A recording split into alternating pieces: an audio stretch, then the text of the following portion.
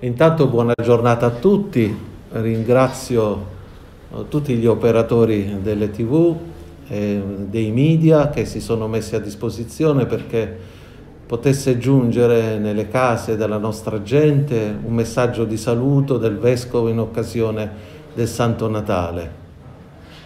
Ecco, il messaggio che voglio portare è un messaggio di speranza. Mm, Sant'Agostino dice che il Natale si può vivere in due modi, nel ricordo e nel mistero. Il Natale si vive nel ricordo quando eh, si vive la ricorrenza natalizia semplicemente come ricordo di un fatto del passato, richiamando alla memoria un evento che comunque ha segnato la storia dell'umanità.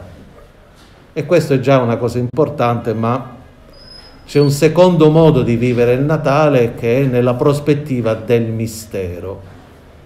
E si vive il Natale del mistero quando quello che si è realizzato nel grembo della Vergine Maria, cioè l'umanazione del Verbo, l'incarnazione del Verbo, si compie anche oggi nella vita delle persone.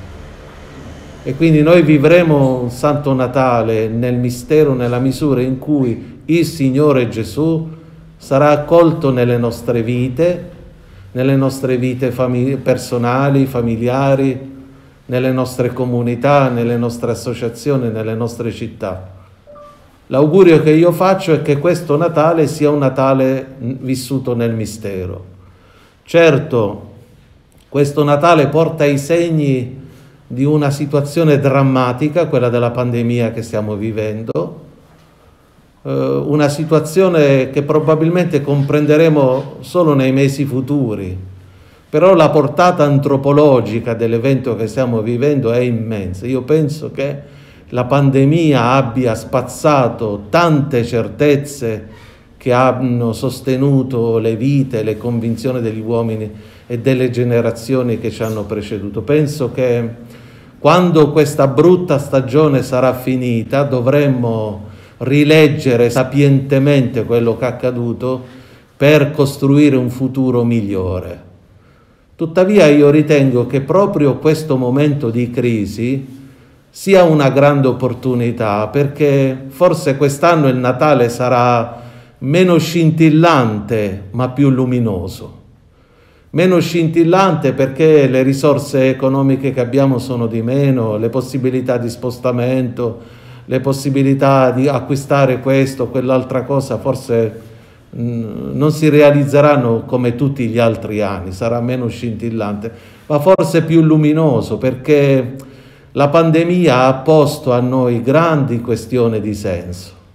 C'è un bisogno di significato, c'è una richiesta, una ricerca di luce e io penso che quando ci si accosta al mistero dell'incarnazione, come persone che sono mendicanti di luce e mendicanti di senso, come i pastori, come i magi, quando si giunge davanti al mistero dell'incarnazione con una fame e una sete di significato e di luce, si può scoprire la verità di quello che è accaduto a Betlemme, quello che è accaduto per la storia dell'umanità.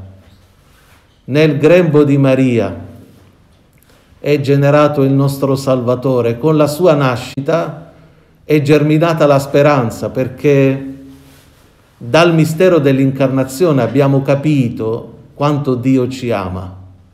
E l'amore di Dio che si è manifestato nell'incarnazione fonda la nostra speranza. Anche dal punto di vista umano, qual è il fondamento della speranza? È l'amore.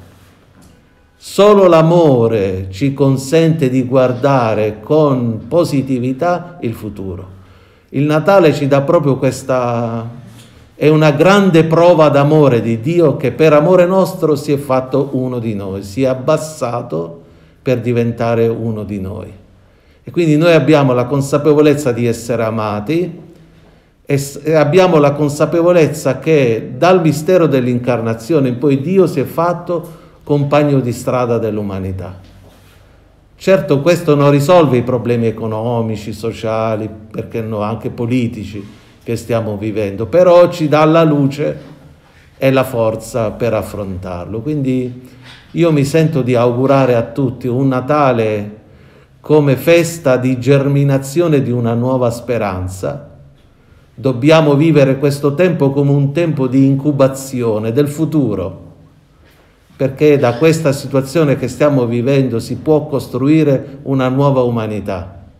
E la comunità cristiana, anch'essa, eh, deve rivedere se stessa, il suo rapporto con il mondo. Dobbiamo fare un, un'azione di riflessività che riguarda tutti gli uomini. Io penso che due atteggiamenti sarebbero sbagliati dinanzi al Natale come festa della speranza. Innanzitutto penso che sarebbe sbagliato cadere nella disperazione. La disperazione è l'atteggiamento di chi giunge a pensare che gli uomini sono soli, sono abbandonati, non c'è salvezza, non c'è Dio, non c'è futuro. La disperazione è sterile. Sarebbe altrettanto sbagliato però la presunzione di chi dice i problemi li dobbiamo risolvere da soli. Senza la grazia di Dio anche questa stagione della storia dell'umanità non potrà portare soluzioni, non potrà portare quella creatività che è necessaria per il superamento. Quindi mettiamo da parte la disperazione che porta a perdere il gusto della vita. Mettiamo da parte la presunzione, l'idea malsana di poterci salvare con le nostre forze e apriamo il cuore alla speranza, quella che è germinata nel grembo di Maria, che è stata seminata nella storia dal Signore nostro Gesù. Un Natale come festa di rinascita nella speranza. Questo con gioia mi sento di augurare a tutta la nostra gente, a tutto il nostro popolo, a tutta la nostra comunità. Grazie. Eppure eh, si sta parlando tanto di questo Natale di semplicità, ma forse nel suo significato più intrinseco, anche se vogliamo scontato, Gesù si fece trovare insomma da dei pastori con la compagnia e il fiato di un bue dell'asinello, cioè non si è fatto trovare da eh, ceti alti, eppure è stato è nato in una, in una stalla improvvisata, quasi un reietto. Sì. Effettivamente il mistero dell'incarnazione ha manifestato lo sguardo di Dio sulla storia. Per Dio le persone, i VIP, le persone veramente importanti sono i pastori, sono Maria di Nazareth, Giuseppe, le persone semplici che hanno conservato quella povertà di cuore che gli ha permesso di riconoscere in Gesù la salvezza della vita. Quindi il Natale porta dentro di sé la logica del Magnificat, questo bellissimo canto di Maria in cui si vede con chiarezza il punto di vista di Dio nella storia. Eh, l'Evangelista Luca ha cura di descrivere la nascita di Gesù in un contesto politico in cui c'è un imperatore, c'è una struttura politica che governa il mondo conosciuto di allora, però Gesù non è andato né dall'imperatore né ai grandi uomini, ai grandi capi militari, eh, Gesù è nato in mezzo ai veri VIP, che sono le persone semplici, con una vita sobria che gli permette di conservare quella sensibilità nei confronti del mistero. Quindi la sobrietà è in qualche modo uno stile che Dio ha scelto, ma nello stesso tempo anche una condizione che permette di riconoscere il passaggio di Dio nella propria vita.